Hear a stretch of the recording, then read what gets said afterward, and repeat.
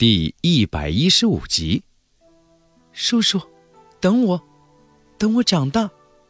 灵儿突如其来的一句话让张凡当即愣住了，一时间竟不知道说什么好，只得哭笑不得的目视着他们离去。尤其是在灵儿说出这句话时，白依依蓦然回首，望来的满是别有意味的眼神，还有陡然加快的脚步，更是让他无语。便是彩衣男子凤狂哥，也不至于受这个待遇吧？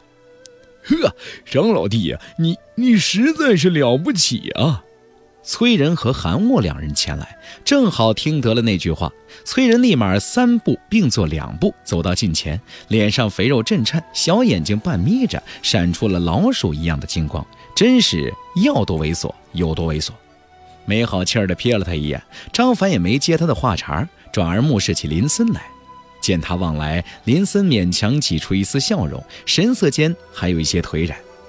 见状，张凡暗叹：林森其人的机缘、智慧和毅力都有，正是修仙的上好材料。可惜他的心中善念太重，从不愿意以恶意揣测别人的想法，受挫难免呐。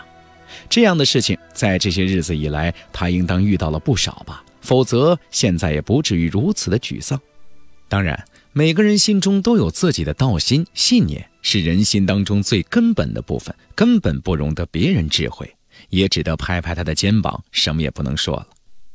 明月高悬，已是深夜，三人一边聊着，一边缓缓地向着秦州驻地行去。便是此时，天柱气旋依然不停地吞吐灵气，不增不减，一切恍如白昼，似永不止息的变化。在这般天地奇观之下，又有什么云层得以长久积聚呢？自然天高云淡，每一丝月华都分外的凛冽。清辉遍洒之下，所有的一切都抹上了一层冷色，陡然生出了一分幽寂之感。有一搭没一搭的闲聊着，很快就来到了驻地之前。三人顿住脚步，崔仁朝内里望了望，尤其是在六个华丽尊贵的帐篷上顿了顿，眼中的神色怪异，不知道是羡慕还是忌惮。只见他迅速收回了目光，不敢多看，扭头道：“张老弟啊，老崔和林师弟就把你送到这里了，你还是自己进去吧。”说着缩了缩脖子，一拉林森告辞了，与白衣衣等人一样。同样起身飞往不远处的石壁上，很快分别消失在了其中两个不起眼的洞口里。他们的动作是如此之快，张凡都还没来得及说什么呢，就已经人踪渺茫了。秦州前来交战的修士们都有自己的临时洞府，并不住在这驻地当中。便是张凡，也是因为第一次前来，先前行事又如此的高调。不得不先拜会一下诸位宗师，算是尽一尽晚辈的礼数。本来没有多想的，可是见得众人的情状，再看看眼前的驻地，张凡心中却无由来的生出了龙潭虎穴之感。便是那驻地大门，看起来也分外的像一张吞噬一切的巨口，仿佛正等着他自投罗网一样。随即摇头失笑。结丹宗师是不好相处，但是也不至于如此啊！差点让这崔仁这家伙给带歪了。不再多想，踏步而入，径直走向了六个帐篷的所在。一路行来，偌大的驻地，白日喧嚣不在，反而显得清冷无比，甚至比外边的荒野还显得苍凉几分。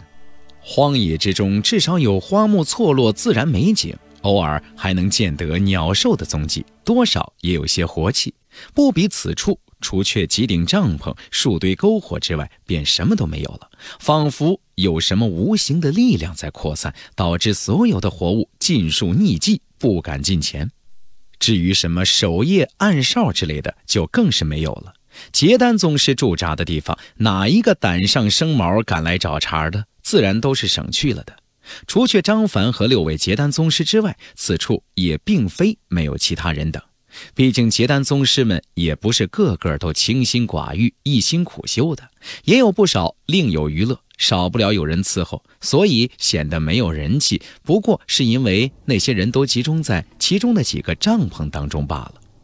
这些帐篷别看外表上看起来不过华丽一些而已，并没有什么出奇之处。其实啊，内里大有玄妙，别有乾坤，乃是幽州大派玄天门外授的一种著名法器。这种法器与多宝阁的灵泉之境、矿洞之中的林森所得的仙境铜柱一样，都属于洞天福地的法器。不过，眼前的这几个帐篷更加高级不少。这些东西专为逸乐所设，而且价格不菲，流传不广。六位驻扎在此的结丹宗师，当然没有正巧人手一个的道理，也怕是多宝阁等六大商行专门献上的吧。至于他们到底得了多少好处，方才如此卖力，那就不是张凡能够知道的了。看着眼前的帐篷，再联想一下先前雍凉驻地建得的石屋，张凡不由得感慨：这有钱的和没钱的就是不一样。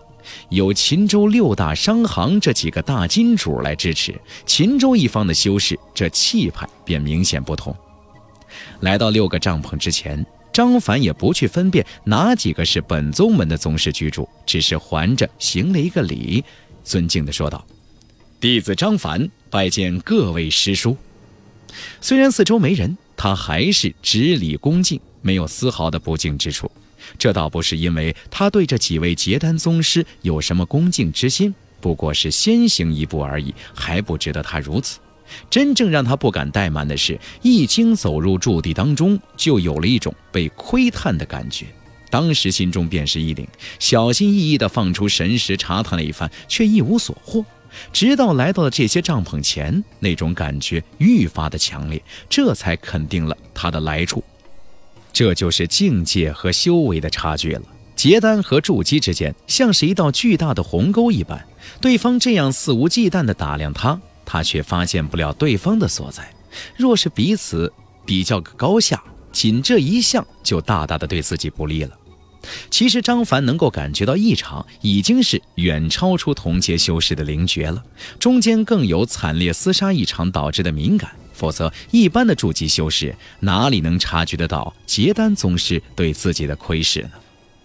张凡说完这些话，帐篷之中并没有马上回答，驻地之中一时沉默了下来，显得气氛愈加的凝滞，让人无法呼吸。怪不得崔仁等人如避蛇蝎一般，忙不迭地逃掉呢。张凡，真是好胆呐！杀人都杀到人家结丹老怪的门前了。少顷，一个不辨男女老少、阴阳怪气儿的声音忽然传了出来。也分不清来自哪个帐篷，就这么不停地回荡着，却又不会散播远去，好似四周的空气凝结成了一间窄小的房间，把所有的声音都禁锢其内了。别人是老怪啊，你又是什么呢？张凡暗暗腹诽着，却闭口不言，并不敢接话。此人的语气似乎有点问题，不过张凡注意的却不是这个，而是他话里透露出的一个信息。哪怕是结丹宗师，若是不特意关注，强行将神识放出，否则也绝不可能了解的那么远的距离之外发生的事情。十之八九和先前一样，都是在以神识窥探着。只不过当时张凡专注于厮杀和战斗，没有注意到别人对他的探视。他没有注意到，可不代表石屋之中对方的结丹宗师也无法察觉到。他们想必是知道的。所以才隐忍着没有出手，否则哪怕张凡不主动挑衅，他们也可能暗自出手教训一下他了。只是那样的手段必然瞒不过自己秦州这方宗师的神识，毕竟这是小辈儿间的事情，还是不要徒惹人笑的好。也就咽下了这口气儿，任由张凡离去。也就是说，无形之中，这几位结丹宗师已经帮了自己一个大忙了。张凡正在斟酌着是不是要感谢一下对方的时候，那个阴阳怪气的声音再次传了出来。此次却能清楚地分辨出来自于对面其中的一个帐篷。短短的几句话，如洪流冲刷一般，从中轰然而出，结丹宗师的威势显露无遗。哼，好威风，好煞气，连杀数十人，很厉害嘛？便是老夫年轻的时候，也要让你三分呐！仿佛被无形的波浪冲击，在听到声音的时候，张凡的脑子中懵了一下，旋即清醒了过来，眉头一皱，心中暗道：“嗯，这话听着有点不对。”我那小鸡子是不是也是这么被你捏死的啊？最后一个字音拖得长长的，仿佛深夜中的鬼哭一般，闻之令人毛骨悚然。嗯，小鸡子。张凡愕然抬头，这老怪真的跟自己有仇怨。不过这称呼，想到小鸡子这个叫法，他就不禁抖了抖，浑身的鸡皮疙瘩都冒了出来。隐隐更听得了其他几处帐篷之中传来了干咳的声音，显得也很是听不惯这个称呼。小鸡子这样的称呼用来叫小太监，那真是再合适不过了。可是咱这辈子也没有见过。哎，等等。无数个念头在张凡的心中闪过，最终有一个名字在记忆的深处，几乎被遗忘的所在跳了出来：姬无暇。无悔谷当中那个娇媚的男子，绣花枕头，一副娈童像的姬无暇，最是配得上这个名字。再加上小鸡，张凡略略低头扫过腰间，一个墨色玉佩悬挂，颜色略有黑暗。略是先前使用过一次，灵力已经不足的缘故，想必就是这个原因了。张凡暗叹了一口气，早知道这个老怪在这儿，他就不敢使用这墨玉佩了。不过啊，其实也没有差别。当年希若就说过，会将姬无暇死于他手上的事情上报给他们俩共同的师傅——结丹宗师阴阳老怪。明白了因果，心中顿时平静了下来。稍稍沉吟，便明白了现在的局势。若是这个阴阳老怪真打算替那个小鸡子报仇，就绝对不会在法相宗的结丹宗师面前显露出这个杀意，不然怎么能报成仇呢？这明显只是借此泄愤而已。可是即便如此，张凡也没法接口。总不能说啊，您的那个娈童的弟子，呃，的确不怎么样，还真是我一下子捏死的，那不是自找苦吃吗？见张凡不开口，阴阳老怪似乎更是气愤，一声冷哼，直震的空气当中波纹隐现。哼，小子，天高地厚，可知否？天高地厚，张凡轻笑，蓦然抬头，坦然回道：“天再高，可越。”地在厚可破，若无此心，我辈还修什么仙，求什么道啊？说这话的时候，张凡神情平静，语气坚决，哪怕面前皆是结丹宗师，依然侃侃而谈，没有丝毫的犹豫。这本就是他内心的真实想法，又何须遮掩呢？好，好，后生可畏。阴阳老怪沉默了一下，随即开口。语气却与话的内容南辕北辙，没有丝毫的赞赏之意，反而一片寒气，闻之血液为之一凝，如遇结冰一般。话音未落，一股气息忽然冲天而起，旋即如堤坝崩溃，洪水肆虐，轰然压下。没有气势压迫，没有灵力层次不同产生的天然灵压，没有激起空气中哪怕一丝的波纹。仅仅是单纯的气息，瞬间就将张凡包裹在其中，无形无质，无任何杀伤力可言。不过，这是一生经历、痛苦、挣扎、奋斗、辉煌、身份、地位结合在一起，融入血脉、灵魂之中，最终化生出的一种感觉。他每个人皆有，每个人不同。在修仙者的眼中，辨别一个人真正的身份，靠的不是有无数种方法作假的面容，而是这独一无二的气息。阴阳老怪的气息就这么毫无保留地放了出来，瞬间将张凡淹没其中。一时间，张凡只觉得斗转星移，恍若换了一个天地，眼前一片暗红黑褐，尸山血海一般。弥漫浓郁的如有同实质的血腥之气充斥，无形的煞气、杀意不需显露，仅仅透过这些堆积如山的尸体，便仿佛在不停的痛苦的诉说着。方才从尸山血海的震惊中回过神来，眼前的景色又是一变，阴阳割昏晓，黑白两色乾坤天地现出，置身其间，整个人好似被分成两半一般。这种感觉并非是肉体上的，而是发自灵魂以及内心深处。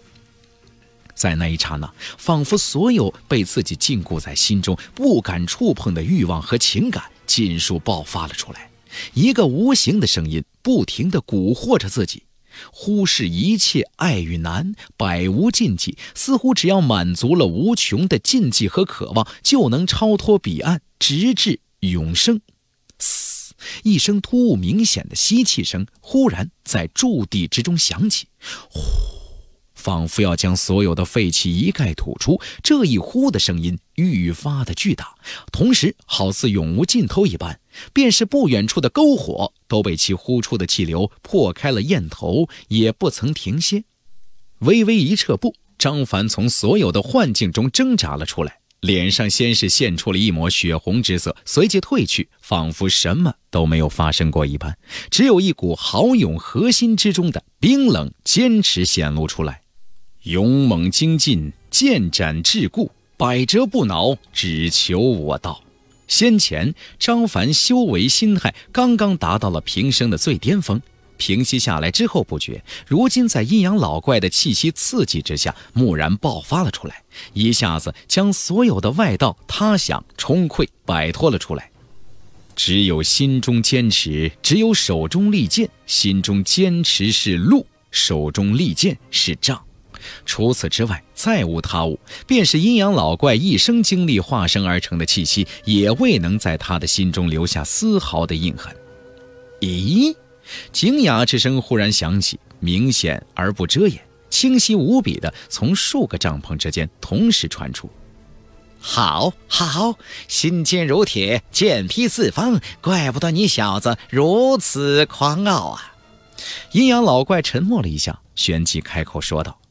他似乎还有什么不甘心的地方，声音还在回荡交织，仿佛下一刻便会变换出别样的内容。这个时候，一个声音突兀的插入，瞬间将所有的响动搅散，整个空气围墙仿佛瞬间消散了一般。积聚了半晌的声音倾泻而出，化为怪叫，声声散开，无法分辨的分毫。够了，阴阳，你还想对晚辈？再出手一次不成吗？声音如凛冽寒风，吹拂冻结一切。四周的篝火瞬间如遇到天敌，骤然收敛。偌大的火焰变得像是风中之烛，相差无几，好似随时可以熄灭一般。阴阳老怪所在的帐篷也陡然安静了下来。声音的主人显然是将先前的气息试探当成了一次出手，阴阳老怪却也没有否认。每一个结丹宗师都非侥幸可为，那都是披荆斩棘、杀戮无数、生生砍出的一条险途。每个人的经历、生平都精彩无比，拼搏之时的险绝，功成之后的地位尊崇养成的浩然，两者合一，这般的气息，足以在心智不坚定者心中留下永恒的烙印，使其一生都无法摆脱。说是攻击，也无不可。阴阳师弟不过是一娈童儿，死了就死了，跟小辈计较什么？场中气氛一时凝滞，少顷，一个声音从与阴阳老怪相邻的帐篷中传出，息事宁人之意显露无遗。张凡早知道阴阳老怪不可能对自己如何，至于像先前那样近似于考验的攻击，他向来不惧。若是连这点关口都挺不住，正如他自己所说的。还修什么仙，求什么道？法相宗一方的宗师怕也是如此看的，方才才没有最开始阻止他。